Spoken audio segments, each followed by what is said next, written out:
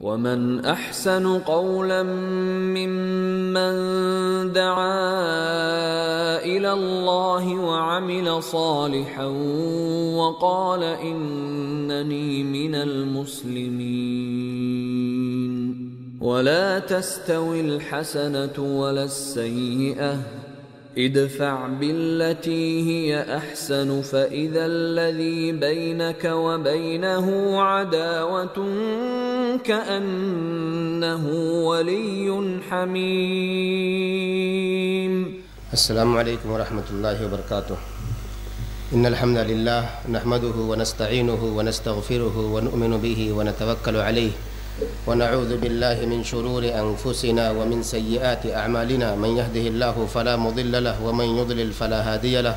وأشهد أن لا إله إلا الله وحده لا شريك له. وأشهد أن نبينا محمدا عبده ورسوله. أرسله الله بالحق بشيرا ونذيرا. فأعوذ بالله من الشيطان الرجيم. يا أيها الذين آمنوا اتقوا الله حق تقاته ولا تموتن إلا وأنتم مسلمون. يا أيها الناس اتقوا ربكم الذي خلقكم من نفس واحدة وخلق منها زوجها وبث منهما رجالا كثيرا ونساء واتقوا الله الذي تساءلون به والأرحام.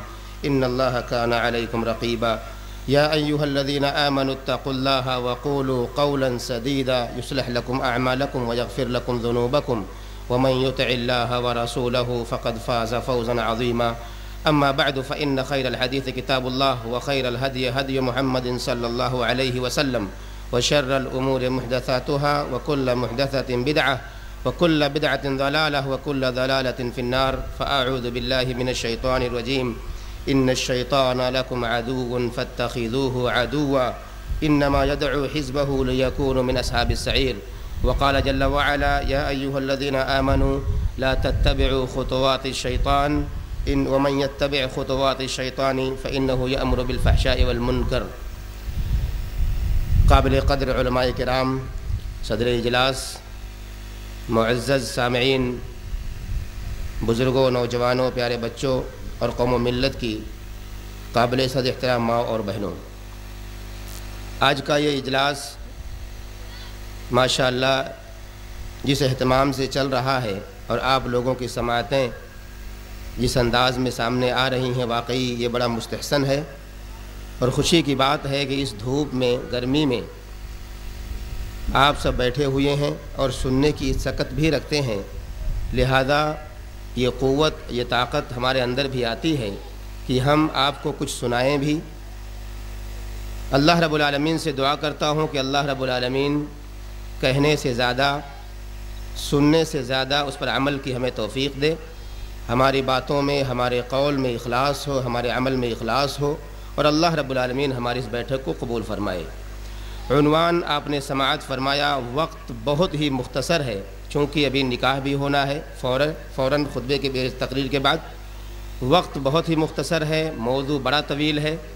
یہ بار بار رونا رویا جاتا ہے ہمیشہ ایک مولوی کے لیے اور یہ رونا اس وجہ سے ہوتا ہے کیونکہ جب وقت کم پڑتا ہے اور موضوع مکمل نہیں ہوتا تو یہ تشنگی آپ سب کے لیے بڑی تکلیف دہ ہوتی ہے کہ موضوع پورا نہ ہو اور بات ختم کر دی جائے۔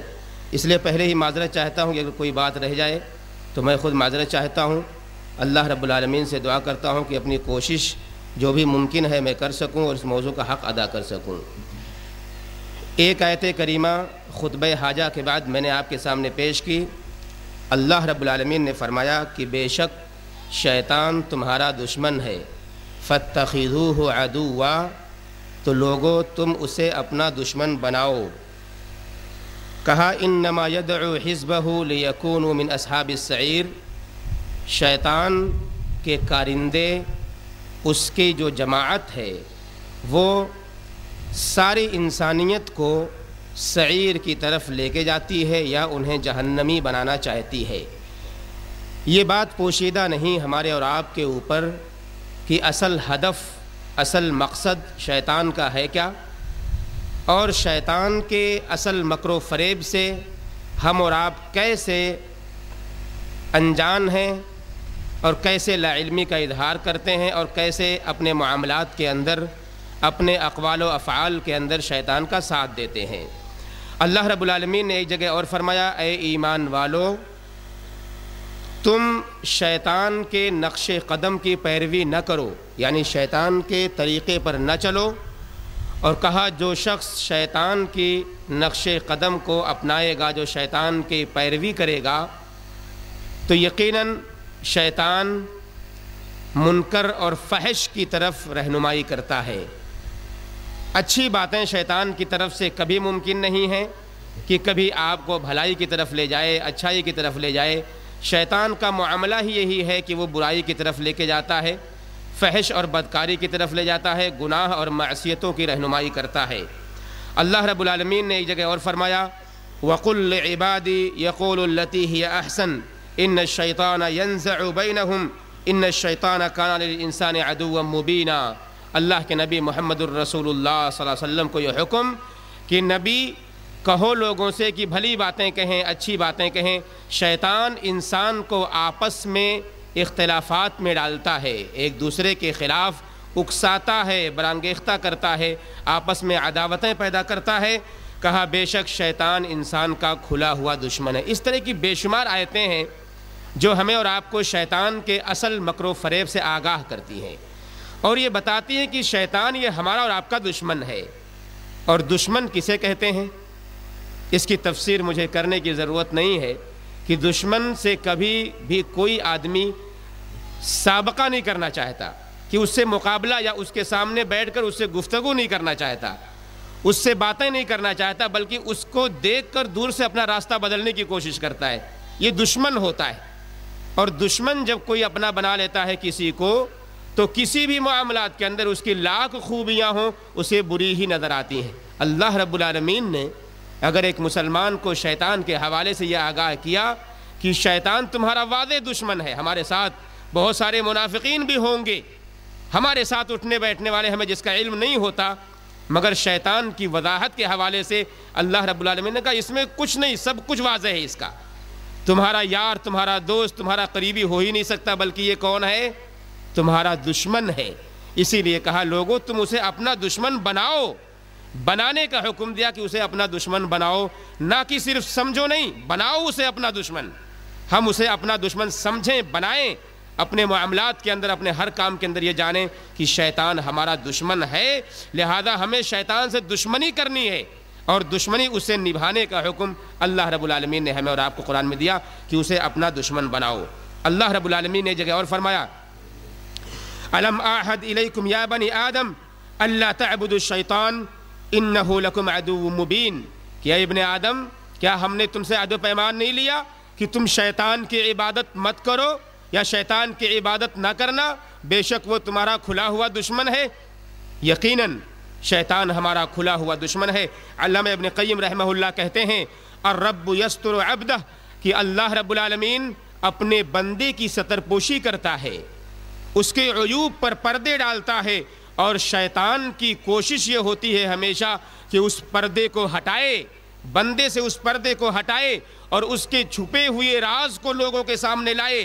ایسی صورت میں بندہ دھوکے میں پڑ جاتا ہے اور کہتا ہے ذنب لم يرہ الا اللہ کہ یہ تو ایسا گناہ ہے جسے اللہ کے سوا کسی نے نہیں دیکھا۔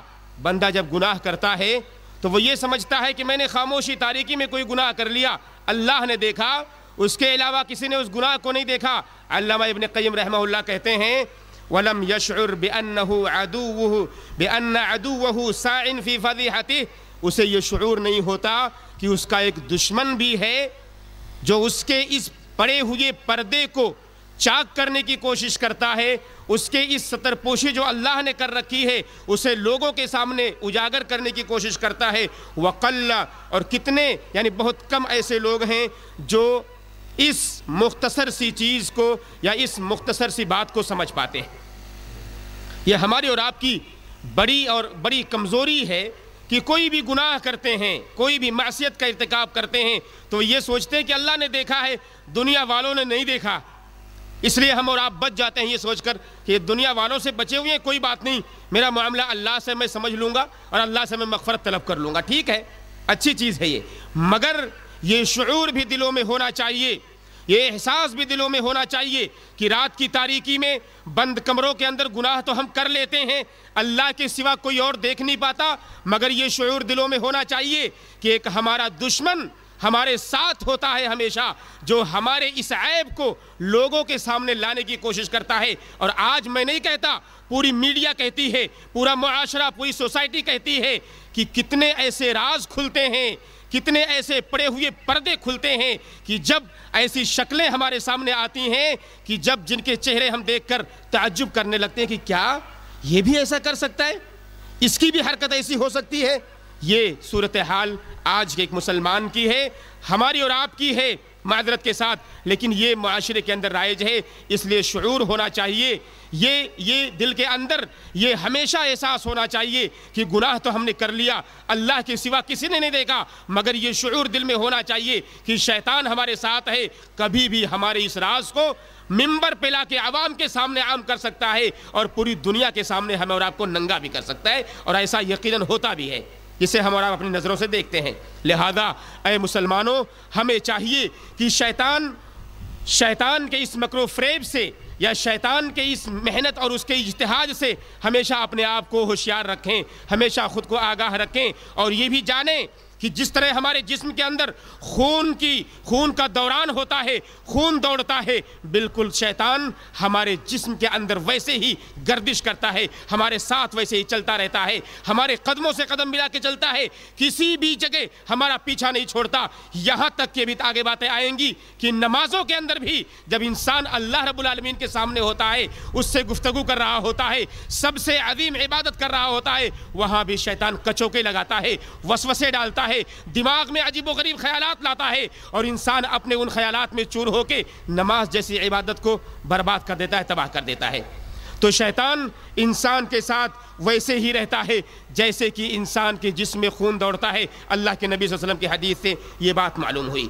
یہ بات ہمیں معلوم ہونی چاہیے کہ دور حاضر کا، اس دنیا کا کوئی بھی فتنہ آدم علیہ السلام سے لے کر کے قیامت تک آنے والی ذریت تک، اس دنیا کا کوئی بھی شر و فساد، کوئی بھی فتنہ، کوئی بھی معصیت، کوئی بھی گناہ رونما نہیں ہو سکتا، مگر یہ کہ شیطان کا ہاتھ اس میں ضرور بضرور ہوگا۔ یا شیطان کی شیطان کی قد و کاوش، اس کی محنت اس کے اندر ضرور ہوگی اور ان سب فتنوں کا سبب جو بنتا ہے، وہ سب سے اہم سبب ہمارے دلوں میں وسوسوں کا آنا ہوتا ہے۔ وسوسہ ایک اہم مرحلہ جب شیطان کسی کے دل کے اندر، کسی کے سینے میں وسوسہ ڈالتا ہے، انسان فوری طور پہ اس کا ذہن تبدیل ہوتا ہے، اس کا مائنڈ ڈائیورٹ ہوتا ہے اور دماغی طور پر کمزور ہوتا ہے، وسوسے سے اس کا ذہن و دماغ تبدیل ہوتا ہے اور نہ جانے کن خیالات میں ڈوبتے ہوئے اچھے اور بھلے کام کر رہا ہوتا ہے اور گناہوں میں ڈوب کے اپنے وہ سارے اچھے اور بھلے کام کو انسان تباہ اور برباد کر دیتا ہے۔ وسوسوں کے حوالے سے کون نہیں جانتا؟ اللہ رب العالمین نے ایک پوری صورت اتار دی اور یہ کہا کہ اللہ کے نبی صلی اللہ علیہ وسلم نے خود پناہ مانگی اللہ رب العالمین سے کہ من الجن الذي يوسوس في صدور الناس الذي اس شیطان سے، سر سے، شر سے اور انسان کے شر سے جو انسان کے دلوں میں وسوسے پیدا کرتے ہیں۔ کیونکہ اگر وسوسہ آ گیا دماغ میں، ذہنوں میں وسوسہ پیدا ہو گیا تو فوری طور پہ انسان کا نظریہ تبدیل ہوتا ہے۔ اچھی باتیں بری لگنے لگ جاتی ہیں۔ کسی کے بارے میں اچھے خیالات برے میں تبدیل ہو جاتے ہیں کیونکہ وسوسہ دماغ میں آ گیا اور شیطان سب سے پہلا حربہ جو استعمال کرتا ہے وہ وسوسے کا ہے۔ ذہن و دماغ میں وسوسہ پیدا کرتا ہے، پھر اس کے بعد اپنے دوسرے ہتھ کنڈے، اپنی دوسری باتیں وہ سامنے لاتا ہے اور لوگوں کو گمراہ کرتا ہے۔ لہذا ہمیں جو چاہیے وہ یہ کہ اللہ رب العالمین نے کہا کہ اے لوگو، شیطان تمہارا دشمن ہے فتخذوہ عدوا۔ اے لوگو، تم اسے اپنا دشمن بناؤ۔ ہمیں اسے اپنا دشمن بنانے کی ضرورت ہے۔ اور یہ بھی جاننے کی ضرورت ہے کہ شیطان بندے کو معصیت کے لیے ہمیشہ ہمیشہ آمادہ کرتا ہے۔ گناہ کی طرف لے کے جاتا ہے۔ گناہ اسے کرواتا ہے۔ اور اگر نہیں کروا پاتا گناہ، تو کم سے کم اچھی چیز کے اندر یا اچھے بھلے کام کے اندر آ کے اسے روکنے کی کوشش کرتا ہے۔ اور یہ بھی اس کے لیے یہ ناکامی اور شیطان کے ساتھ دینے کی دلیل ہوتی ہے۔ یقیناً اللہ رب العالمین نے ہمیں اور آپ کو اس سے ہر مقام پر بچنے کی تلقین کی ہے۔ اس سے اپنے آپ کو بچانے کی تلقین کی ہے۔ اللہ رب العالمین نے ہمیں اور آپ کو یہ تعلیم دی کہ شیطان کی چال یقیناً بڑی ہی بڑی ہی عظیم ہے۔ مگر یہ بھی ہمیں اور آپ کو بتایا کہ اس کا اس کا یہ مکر و فریب بڑا کمزور ہے۔ بہت کمزور ہے۔ انسان اگر قوت اپنے اندر پیدا کر لے، اپنے اندر ایمانی قوت پیدا کر لے اور ایمان کی وہ غیرت اس کے اندر آ جائے جس غیرت کے سامنے شیطان کا کوئی بس نہ چل سکے، تو کوئی فائدہ نہیں شیطان کے مکرو فریب سے اور کبھی بھی انسان اس کی گمراہی میں نہیں آئے گا۔ اللہ رب العالمین نے جب اسے دھتکارا جہنم جنت سے نکال کے دھتکارا اور آدم علیہ السلام کون نہیں جانتا کہ یہ پوری تاریخ ہے، پوری تاریخ ہے انسان سے شیطان کی جنگ اور اس کے لڑائی کی کہ آدم علیہ السلام کو اللہ رب العالمین نے جب پیدا کیا اور سارے لوگوں کو حکم دیا، فرشتوں کو حکم دیا کہ اے فرشتوں آدم کو سجدہ کرو۔ سب نے سجدہ کیا۔ شیطان اور ابلیس نے کہا کہ میں نہیں کر سکتا۔ وجہ بیان کی عذر پیش کیا کہ تو نے تو نے آدم کو مٹی سے پیدا کیا۔ وہ خلق تنی منتین تو نے تو نے تو نے مجھے تو نے تو نے مجھے نار سے پیدا کیا اور تو نے مجھے تو نے انہیں مٹی سے پیدا کیا وہ خلق تو منتین تو نے انہیں مٹی سے پیدا کیا میں کیسے سجدہ کروں سجدہ کرنے سے انکار کر دیا اللہ رب العالمین نے اسے دھتکار لگائی اسے پھٹکار لگائی اور جنت سے نکالا بلکہ یہ یہ معاملہ چلا یہ معاملہ چلا بلکہ اللہ رب العالمین نے جنت کے اندر ایک باغ ایک ایک درخت کے حوالے سے بیان کیا آدم علیہ السلام اور مائی ہوا کو اس کے قریب جانے سے روکا اس کے پاس مت جانا اس کا درخت درخت، اس کا پھل کا، اس کا پھل مت کھانا۔ مگر شیطان نے ان دونوں کو اس سے قریب کیا۔ شیطان کے بہکاوے میں آ کے گئے آدم علیہ السلام، پھل کھایا۔ اللہ رب العالمین نے وہاں سے انہیں نکالا اور دنیا میں زمین پر لا کے انہیں پٹک دیا۔ زمین پہ آئے، شیطان بھی آیا اور یہ وعدہ لیا اللہ رب العالمین سے کہ دنیا کے اندر جا تو رہا ہوں۔ مگر بندوں کو، جو یہ تیری مخلوق ہے، تیری جو ذریت ہے، تیری جو مخلوق ہے، اس مخلوق کو گمراہ کروں گا۔ آدم کی ذریت کو گمراہ کروں گا۔ تو یہ معاملہ تاریخی حیثیت سے، جنت سے اس کی کی شروعات جہاں پر آدم علیہ السلام کو گمراہ کیا اور اس سے پہلے کبر و غرور کی حالت میں آدم کو سجدہ کرنے سے ابلیس نے منع کیا، یہ پوری تاریخ ہے کہ شیطان نے ہمیشہ سے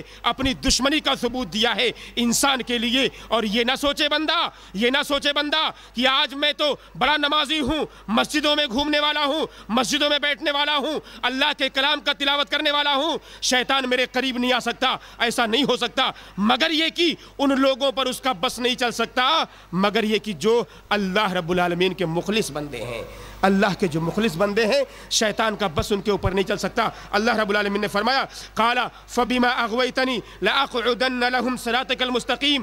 اللہ رب العالمین سے شیطان نے کہا، اس نے کیا کہا؟ چونکہ آپ نے مجھے گمراہ کیا ہے، شیطان نے کہا، اللہ سے، اے اللہ، چونکہ تو نے مجھے گمراہ کیا ہے، لہذا میں تیرے بندوں کے راستے میں، صراط مستقیم میں آ کے بیٹھوں گا۔ ثم لآتینہم من بین ایدیہم ومن خلفہم۔ ان کے دائیں سے آؤں گا، ان کے سامنے سامنے سے آؤں گا، ان کے پیچھے سے آؤں گا۔ اور کہا، وعن ایمانہم ان کے دائیں سے آؤں گا۔ وعن شما، وعن شمائلہم ان کے بائیں سے آؤں گا۔ ولا تجد اکثرہم ولا تجد اکثرہم شاکرین اور بہت سارے تیرے بندے تیرے شکر گزار نہیں ہوں گے۔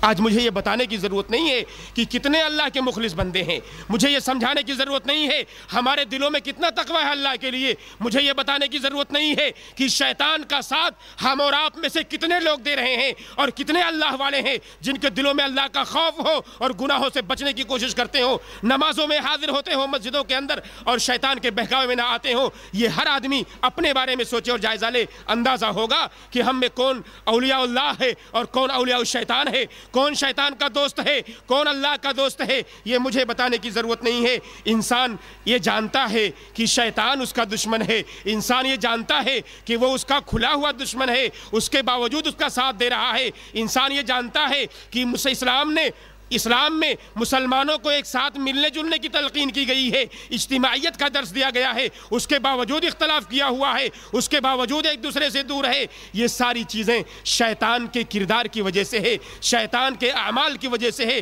اور ہمارے اور آپ کا کردار شیطان کے حوالے سے کہ ہم نے اور آپ نے اس کا ساتھ دیا، اسی وجہ سے اللہ رب العالمین نے ہمارے اوپر شیطان کو مسلط کر دیا۔ اب ہم شیطان کے بہکاوے میں آ گئے جس طرح سے شیطان نے چاہا، ہمیں اور آپ کو استعمال کیا۔ شیطان کے آلات، اس کے اس کے جو ذرائع ہیں، ہمیں اور آپ کو گمراہ کرنے کے بڑے زیادہ ہیں، بہت زیادہ ہیں۔ چند ایک باتیں اس کے حوالے سے بیان کرتا ہوں کہ اللہ رب العالمین نے شیطان کو کچھ پاور دیے ہوئے ہیں۔ شیطان کے پاس کچھ قوت ہے، اللہ نے دی ہوئی ہے۔ اسی لیے شیطان برائیوں کو مزین کر کے ہمارے سامنے پیش کرتا ہے۔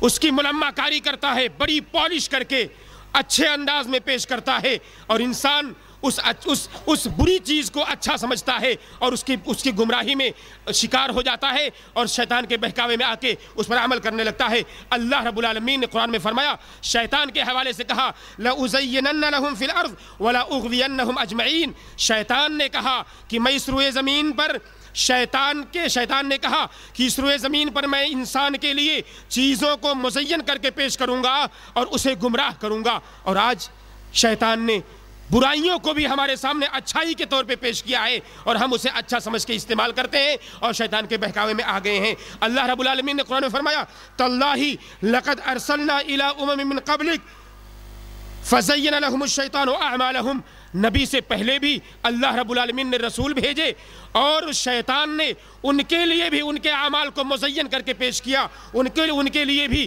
شیطان نے اعمال کو مزین کیا اور وہ لوگ بھی یعنی ان کے امتی بھی گمراہ ہوئی تو یہ عام سی بات ہے کہ شیطان کو اللہ رب العالمین نے کچھ پاور دیے ہوئے ہیں، کچھ قدرت دی ہوئی ہے۔ اس قدرت کا استعمال کر کے شیطان ہمارے سامنے برائیوں کو اچھا بنا کے پیش کرتا ہے، مزین کر کے پیش کرتا ہے اور ہم اور آپ ان ان بری چیزوں کو اچھا سمجھ کے انجام دیتے ہیں اور کرتے ہیں۔ دوسرا اہم آلہ، دوسرا اہم حربہ اس کا یہ ہوتا ہے، جھوٹ اور دھوکہ۔ جھوٹ اور دھوکہ۔ آج جھوٹ کے بارے میں آپ نے باتیں سنی ابھی۔ جھوٹ اور دھوکہ دھوکہ دڑی اتنی زیادہ ہے، جھوٹ اتنا زیادہ ہے۔ اور سب سے پہلا جھوٹ جو شیطان نے خود بولا آدم علیہ السلام سے، جو ان کو درخت کے قریب کیا۔ درخت کے قریب کیا۔ یہ کہتے ہوئے، وقال، وما نهاكما ربكما عن هذه الشجرة إلا أن تكونا ملكين۔ او تکونا من الخالدین، کہ کہیں ایسا نہ ہو جائے کہ تم ہمیشہ ہمیں جہنم میں رہ جاؤ۔ اسی لیے اللہ نے تم کو روکا ہے اس درخت کے پاس جانے سے۔ شیطان نے دھوکہ دیا، جھوٹ بولا آدم علیہ السلام سے۔ آدم علیہ السلام اس کے بہکاوے میں آئے اور چلے گئے وہاں پر درخت کے پاس۔ تو سب سے پہلی ابتدا بھی جھوٹ کی، شیطان کے ذریعے ہوئی۔ شیطان نے جھوٹ بولا اور انسان اس کے نقش قدم پر چلتا رہا۔ جھوٹے، جھوٹی، جھوٹ کے اندر گرفتار ہوا اور گناہوں میں اس کے ذریعے سے گناہوں میں گرفتار ہوا اور اس کے بہکاوے میں آ کر کے انسان اپنی ساری دنیا، ساری آخرت تباہ کر لی۔ اس کے بعد شیطان نے کہا، اللہ رب العالمین نے شیطان کے بارے میں فرمایا، الشیطان یعیدکم الفقر ویامرکم بالفحشاء، کہ شیطان نے تم سے فقر کا وعدہ کیا ہے۔ یا شیطان تم سے فقر کا وعدہ کرتا ہے، محتاجی کا وعدہ کرتا ہے، برائیوں کا وعدہ کرتا ہے۔ واللہ یعدکم مغفرہ واللہ یعدکم مغفرتا منہ وفضلا کہ اللہ رب العالمین تم سے مغفرت کا وعدہ کرتا ہے اور اپنی طرف سے فضل کا وعدہ کرتا ہے؟ یقیناً آج صورتحال کون نہیں جانتا۔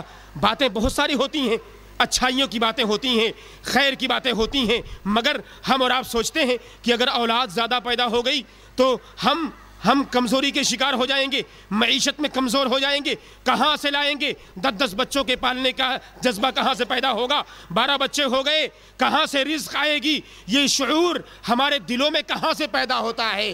یہ فقر اور محتاجی ہمارے دلوں میں کہاں سے آتی ہے؟ یہ شعور اس لیے پیدا ہوتا ہے کیونکہ شیطان خیالات ڈالتا ہے ہمارے ذہن و دماغ میں کہ اگر کہیں بچے زیادہ ہو گئے تو محتاجگی آ جائے گی، تم فقر و فاقہ کے شکار ہو جاؤ گے در در ٹھوکریں کھاؤ گے، ان کے ان کے سامنے ہاتھ پھیلانا پڑے گا۔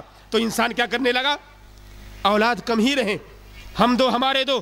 پالیسی اختیار کرنے لگا، چند اولاد پر اکتفا ہو گئی اور یہ کہنے لگا، بھائی، زیادہ ہوں گے، یہ سر کا بوجھ بن جائیں گے فقر آ جائے گی۔ اللہ رب العالمین نے اس کے بارے میں کہا کہ شیطان تم سے فقر کا وعدہ کرتا ہے، مگر اللہ رب العالمین، اللہ رب العالمین اپنی طرف سے فضل کا وعدہ تم سے کرتا ہے۔ اللہ نے ہمیشہ خیر کا وعدہ کیا ہے، اچھائی اللہ نوازتا ہے، لیکن شیطان سے کبھی اچھائی کی امید نہیں کی جا سکتی۔ تو شیطان ہمیشہ جھوٹ بولتا ہے اور ہمیشہ دھوکہ دیتا ہے۔ یہ اس کے ذریعے سے ہمیں اور آپ کو گمراہ کرتا ہے۔ تیسری اہم بات کہ جو آلہ اور حربہ استعمال کرتا ہے وہ یہ ہے کہ شیطان ہمیں نظر نہیں آتا۔ ہم شیطان کو دیکھ نہیں سکتے، جبکہ شیطان اور اس کے کارندے ہمیں دیکھتے ہیں۔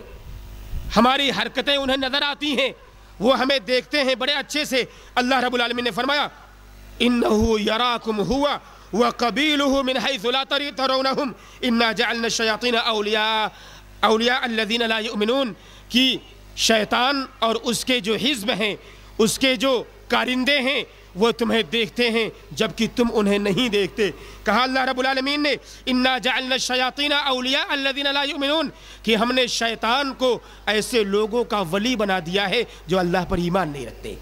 جن کے دلوں میں ایمان نہیں ہے وہ شیطان ان کے دوست بن جاتے ہیں۔ یہ اللہ ایسے لوگوں کا دوست شیطان کو بنا دیتا ہے جن کے دلوں میں ایمان نہیں ہوتا، تو یہ ایمانی کی کمزوری کی دلیل ہوتی ہے کہ ہم اور آپ شیطان کے نقش قدم پر چلنے لگ جائیں، کیونکہ شیطان ہمیں اور آپ کو برائیوں کی طرف لے کے جاتا ہے۔ اللہ رب العالمین نے یہ تعلیم جب دی، تو اللہ کے نبی محمد الرسول اللہ صلی اللہ علیہ وسلم نے فرمایا کہ ان شیطان یجری من الانسان مجر الدم، کہ جس طرح خون دوڑتا ہے انسان کے ساتھ، شیطان انسان کے ساتھ ویسے ہی رہتا ہے۔ شعور کی ضرورت ہے، احساس کی ضرورت ہے، یہ بیداری کی ضرورت ہے کہ ہم اور آپ جانیں اور محسوس کریں کہ شیطان ہمارے ہر ساتھ، ہر وقت ہمارے ساتھ ہوا کرتا ہے۔ اسی طرح سے بعض ایسی چیزیں جو اللہ رب العالمین اپنے فرشتوں کو بتاتا ہے۔ یا اللہ رب العالمین کے فرشتے دوسروں کو تعلیم دیتے ہیں دنیاوی امور کے حوالے سے۔ شیطان اس کو اچکنے کی کوشش کرتے ہیں، اسے لینے کی کوشش کرتے ہیں۔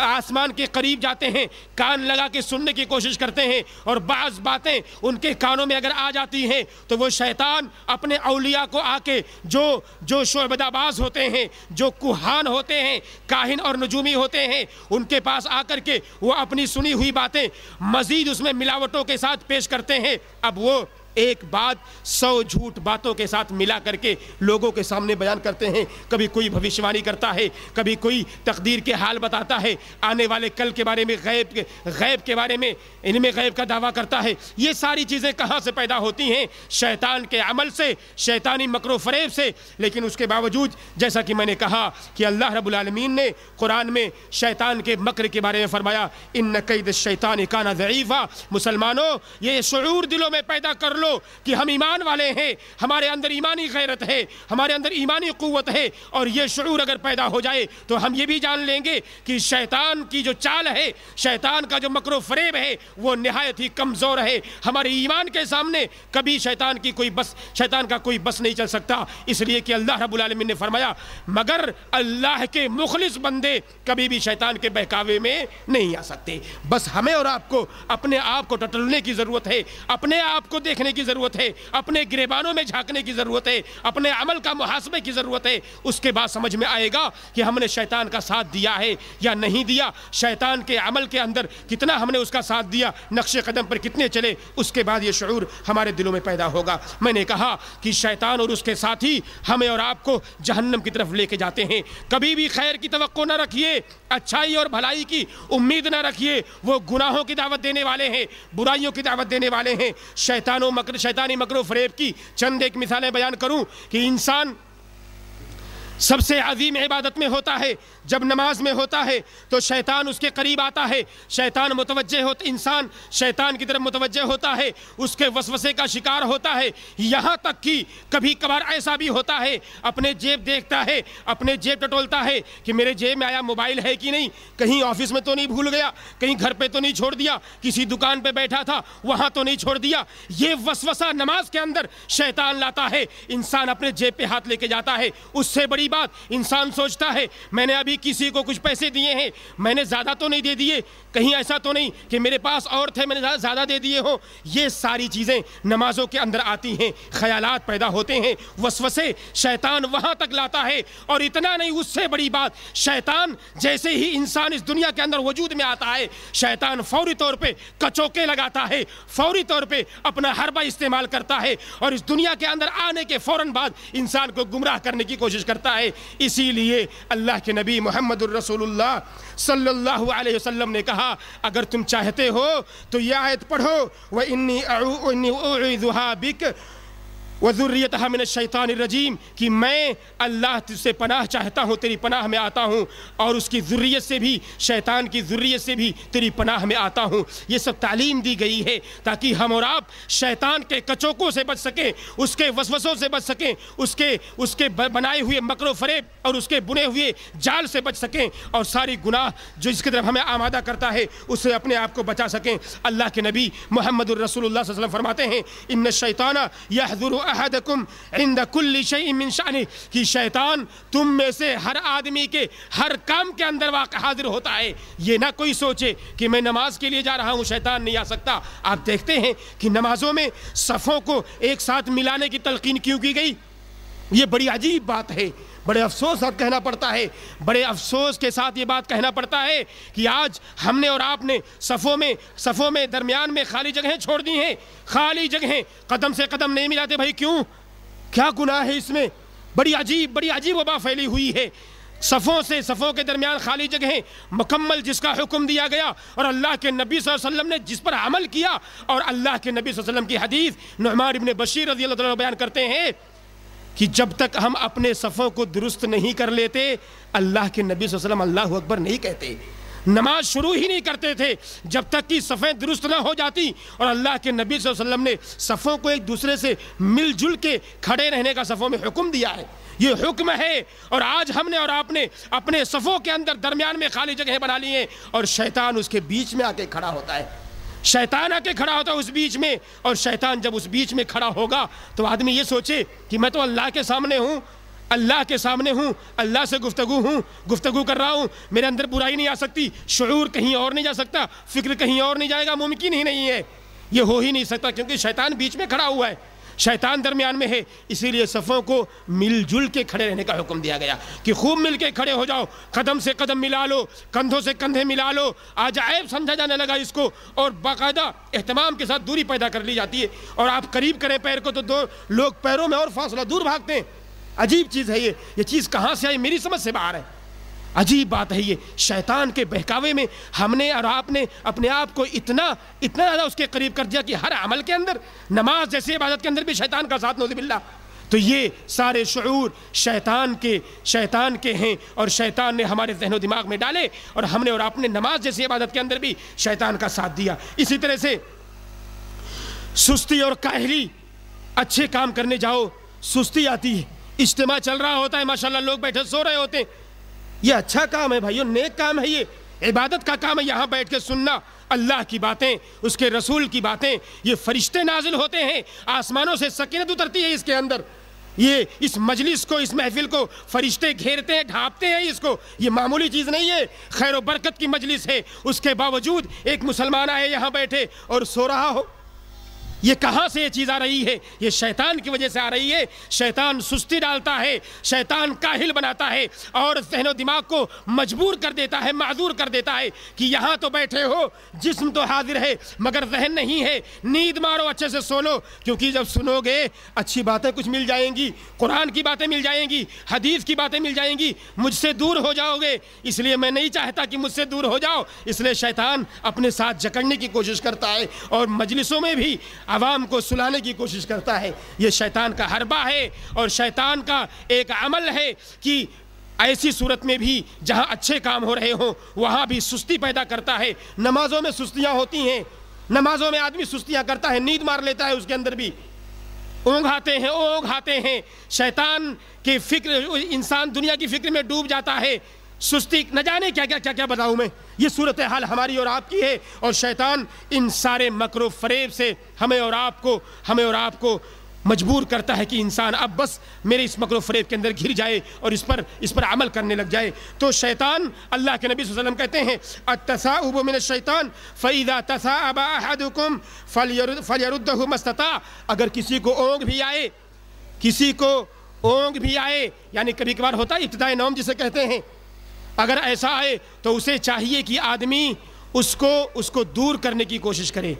اس کو دور کرنے کی، جتنی طاقت ہو، اسے دور کرنے کی کوشش کرے۔ اس لیے فَإِنَّ أَحَدَكُمْ اِذَا کہا کہ اِذَا قَالَ ہا ذَحِكَ الشَّيْطَانِ۔ کہ جب آدمی منہ سے جب جمائی لیتا ہے، جمائی جمائی لینے کے بارے میں کہ جب جب جب جب ایک مسلمان جمائی لیتا ہے، آ کرتا ہے، منہ کھولتا ہے اور ہا کرتا ہے، تو شیطان ہنستا ہے۔ کہ چلو اب اسے نیند آ رہی ہے، سستی آ رہی ہے اسے۔ میں کامیاب ہو رہا ہوں۔ اور یہ سب سے پہلے میں نے کہا کہ یہ جمائی لینا، یہ ابتدائی نوم ہے، مقدمات نوم ہے۔ اس کے ذریعے سے سستی آتی ہے اور انسان نیند کے آغوش میں آ جاتا ہے اور شیطان اس حربے کو استعمال کر کے ہمیں اور آپ کو گمراہ کرتا ہے۔ اور اس سے بڑی بات کہ نیند کی حالت میں بھی، نیند سے پہلے بھی نیند کے بعد بھی شیطان ہمارے قریب آتا ہے اور شیطان ہماری نیند میں آ کے ہماری نیند کو برباد کرتا ہے، گندے اور برے خواب دکھاتا ہے اور ہم اور آپ اس کے خواب میں مست ہو کے دیکھتے رہتے ہیں۔ اس سے بچنے کی تدابیر ہیں۔ اس سے بچنے کے علاج ہیں، تدابیر ہیں۔ اس کے لیے طریقہ بتایا گیا کہ سونے سے پہلے آدمی دعائیں پڑھے، آیت الکرسی پڑھے، مخصوص دعائیں ہیں سونے سے پہلے، وضو کر کے سوئے۔ یہ سب کام نہیں کرتے ہم اور آپ۔ اسی لیے نیند کی حالت میں پھر مولوی کے پاس جاتے ہیں مولوی صاحب فتوا دیجیے۔ نیند کی حالت میں میں نے خواب گندے گندے خیالات آتے ہیں، برے برے خیالات آتے ہیں۔ نیند میں باتیں کرتا ہوں۔ میرا بیٹا، میری بیوی باتیں کرتی ہے نیند میں، الٹی سیدھی گفتگو کرتی ہے، گالیاں دیتی ہے۔ یہ کیوں آتے ہیں؟ یہ کبھی سوچا ہم نے؟ یہ سوچنے کی ضرورت ہے کہ جب شریعت پر عمل نہیں ہوگا، شریعت کے مطابق نیند سے پہلے ہم اور آپ سونے کی کوشش نہیں کریں گے۔ شریعت کے مطابق جب نیند نہیں لیں گے تو شیطان تو یقیناً آئے گا۔ شیطان نیند سے پہلے بھی آتا ہے، نیند کے حالت میں بھی آتا ہے، نیند کے بعد بھی شیطان ہوتا ہے۔ اور ہر حالت میں ہمیں اور آپ کو گمراہ کرنے کی کوشش کرتا ہے۔ لہذا اس سے بچنے کی ضرورت ہے۔ مختصراً ساری باتیں رکھ دیتا ہوں۔ وقت نہیں ہے۔ کھانے پینے کی حالت میں بھی شیطان ہمارے سامنے ہوتا ہے۔ ہے، اس کی صورتیں وہاں بھی۔ اسی لیے اللہ کے نبی صلی اللہ علیہ وسلم نے ہمیں اور آپ کو کھانے پیتے وقت، کھاتے پیتے وقت بھی تعلیم دی ہے کہ کیسے کھاؤ گے، کیسے پیو گے، داہنے ہاتھ سے کھاؤ گے، داہنے ہاتھ سے پیو گے اور بسم اللہ کر کے کھاؤ گے۔ بسم اللہ مت بھولنا، اس لیے کہ اگر بسم اللہ بول دو گے تو شیطان تمہارے کھانے کے اندر تمہارے ساتھ شریک نہیں ہو سکتا۔ لیکن اگر کہیں بھول گئے تو شیطان تمہارے ساتھ کھا لیتا ہے۔ تمہارے ساتھ پیتا بھی ہے۔ دائنے ہاتھ سے کھانا دائنے ہاتھ سے پینا اور اسی طرح سے سامنے جو ہو کھانا، وہی کھانا۔ ادھر ادھر پورے پلیٹ کے اندر ہاتھ لے کے جانے سے منع کیا گیا اور روکا گیا کہ چار لوگ بیٹھ کے اندر ایک صحن میں کھا رہے ہوں۔ ان کے سامنے سے نوچ کے اپنے پاس لائے اور کھائیں۔ یہ سب اسلامی طریقہ نہیں ہے، شیطانی طریقہ ہے۔ اس لیے ان ساری چیزوں سے ہمیں اور آپ کو بچنے کی ضرورت ہے۔ شیطان، یہ ساری باتیں ہمیں اور آپ کو اپنے اپنے اس حربے کی استعمال کے ذریعے سے ہمیں اور آپ کو گمراہ کرنے کی کوشش کرتا ہے۔ اللہ کے نبی محمد الرسول اللہ صلی اللہ علیہ وسلم کی حدیثوں سے یہ بات معلوم ہوئی کہ جب تم میں سے کوئی آدمی اپنے گھر کے اندر قدم رکھ رکھے تو بسم اللہ کرے، بسم اللہ کر کے جائے۔ کیونکہ جب بسم اللہ کر لے گا بندہ تو شیطان تمہارے ساتھ گھر کے اندر داخل نہیں ہو سکتا۔ اس لیے کوئی کھانا کھائے، بسم اللہ کر کے کھائے۔ اور جب تم میں سے کوئی آدمی بسم اللہ کر کے کھانا کھائے گا تو تمہارے ساتھ شیطان تمہارے کھانے میں شریک نہیں ہو سکتا۔ اسی طرح سے شیطان کا ایک حربہ یہ بھی ہوتا کہ ہمیں اور آپ کو بازاروں کی طرف کھینچتا ہے۔ بازار، میں نہیں جانتا کہ یہ گاؤں دیہات کے حالات کیا ہیں، مگر شہروں کے حالات دیکھیے آپ۔ شہروں کے حالات دیکھیے، معذرت کے ساتھ ہماری مائیں بہنیں، ہمارے نوجوان لڑکے، ہمارے بیٹے، ہماری بہویں ہمارے بھائی بہن، اس برائی کے اتنے زیادہ شکار ہیں، بازاروں میں کوئی کام نہیں، گھومنے کے عادی بنے ہوئے ہیں، اور شیطان بازاروں کی طرف ہمیں اور آپ کو کھینچ کے لے کے جاتا ہے۔ صرف اس لیے تاکہ ایک مسلمان اگر بازار کی طرف جائے گا، تو گناہ وہاں پر موجود ہے، ان گناہ سے اس کا واسطہ ہوگا اور بازاروں کی رونق آج ہم نے اور آپ نے اپنے آپ کو وہاں پیش کر کے بنا دیا ہے۔ ہمارے گھر کی عورتوں نے، ہمارے گھر کے نوجوانوں نے بازاروں کا رو رخ کیا ہوا ہے اور اپنے آپ کو لوگوں کے سامنے ایسے پیش کیا ہے کہ زیب و زینت کے عالم میں اور اپنے آپ کو بناؤ سنگار کر کے پیش کر دیا ہے کہ شیطان وہاں پر بیٹھا ہوا تاک لگائے رہتا ہے۔ اللہ کے نبی صلی اللہ علیہ وسلم کی حدیث کہ جب کوئی عورت اپنے گھر سے باہر نکلتی ہے تو شیطان باقاعدہ تاک لگائے ہوتا ہے، اسے جھانکتا ہے، اسے دیکھتا ہے اور اس عورت کو مزین کر کے لوگوں کی نظروں میں پیش کرتا ہے، آدمیوں کی نظروں میں پیش کرتا ہے۔ آدمی کی نظر میں وہ عورت مزین نظر آتی ہے، پھر اس کی طرف نظر اٹھتی ہے اور گناہ کا جذبہ دلوں میں پیدا ہوتا ہے۔ یہ صورت حال ہے شیطان کی کہ اس نے ہمیں اور آپ کو بازاروں کی طرف گھما دیا ہے۔ اللہ کے نبی صلی اللہ علیہ وسلم نے منع کیا ہے اور یہ تعلیم دی کہ نہ بننا کبھی پہلا وہ شخص جو بازار میں جائے اور نہ بننا ایسا شخص جو سب سے آخر میں بازار سے نکلے۔ یہ دونوں صفتیں ایسی ہیں جو شیطانی صفتیں ہیں، کیونکہ شیطان ایسے موقع پہ ہم اور آپ کو گمراہ کرتا ہے۔ شیطان ہمیں اور آپ کو بازاروں میں لے جا کے گمراہ کرتا ہے۔ یہاں تک کہ زندگی کے آخری لمحات کے اندر جب انسان موت کے کگار پہ ہوتا ہے، جانکنی کے عالم میں ہوتا ہے، تو بھی شیطان اسے گمراہ کرنے کی کوشش کرتا ہے اور ایسے موقع پہ اللہ کے نبی محمد الرسول اللہ صلی اللہ علیہ وسلم نے اللہ سے پناہ چاہی ہے، یہ کہا، لمبی حدیث ہے اور فرمایا، وَأَعُوذُ بِكَ أَن يَتَخَبَّطَنِيَ الشَّيْطَانُ عِنْدَ الْمَوْتِ۔ اے اللہ، میں تیری پناہ میں آنا آتا ہوں کہ شیطان موت کے وقت مجھ پر کچو کے لگائے، یا میں موت کے وقت بھی شیطان کا شکار ہو جاؤں۔ اے اللہ، میں تیری پناہ چاہتا ہوں۔ کون نہیں جانتا کتنے ایسے لوگ ہیں کہ آج مسلمان ہونے کے باوجود کفر کی حالت میں ان کی وفات ہو جاتی ہے۔ اسلام کا کلمہ پڑھنے کے باوجود حالت شرک میں ان کی وفات ہو جاتی ہے، بدعتوں میں ان کی وفات ہو جاتی ہے، مگر اللہ کی طرف سے انہیں توفیق نہیں ملتی، اللہ کی طرف سے انہیں عنایت نہیں ہوتی، اتنی ہدایت نہیں ملتی کہ وہ کلمہ توحید اپنی زبان سے ادا کر لے۔ کیوں؟ اس لیے کہ شیطان ان کے ساتھ ہوتا ہے اور انہیں یہ موقع نہیں دیا جاتا یا شیطان کی وجہ سے یہ موقع انسان نہیں پاتا۔ لہذا یہ سارے، یہ ساری صورتیں ہیں کہ ان صورتوں میں شیطان ہمارے سامنے آتا ہے اور ہم اور آپ اس کی ان صورتوں میں آنے کے باوجود ہم اور آپ اس کے تمام مکر و فریب سے بالکل لا علم ہو کر کے ہم اور آپ مکمل طریقے سے اس کا ساتھ دیتے ہیں۔ میری باتیں ختم نہیں ہوئی ہیں مگر وقت ختم ہو چکا ہے۔ چند باتیں کہہ کے اپنی بات کو ختم کر دیتا ہوں کہ اللہ رب العالمین نے جہاں پر شیطان سے بچنے کی تعلیم دی ہے، اللہ کے نبی نے جہاں پر ہمیں اور آپ کو شیطان کے حوالے سے ساری آگاہی دی ہے اور اس کے مکر و فریب، اس کے جال میں پھنسنے سے بچنے کے طریقے بتائے ہیں۔ وہیں پر یہ معلوم ہونا چاہیے کہ شیطان کا سب سے عظیم ہدف یہ ہوتا ہے کہ شیطان ان مسلمانوں کو شرک کے دائرے میں جگرا دے، کیونکہ شرک اس کائنات کا سب سے بڑا گناہ ہے۔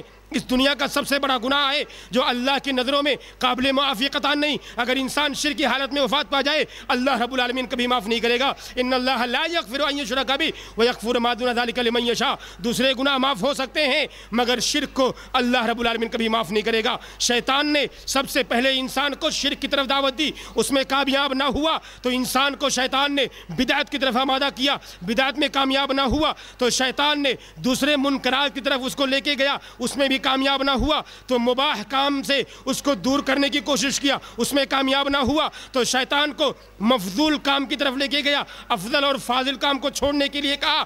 انسان یہاں تک کہ یہ شیطان کے مکر و فریب میں آ کے شیطان کے جال میں آ کے کتنے لوگ شرک کر بیٹھے، کتنے لوگ بدعت کر بیٹھے، کتنے لوگ رسم و رواج میں ڈوب گئے، کتنے لوگ اختلافات میں پڑ گئے، کتنے لوگ نفرتیں ایک دوسرے سے عداوتیں کر بیٹھے۔ اور شیطان نے اپنا یہ حربہ استعمال کر کے پورے معاشرے کو تباہ کیا۔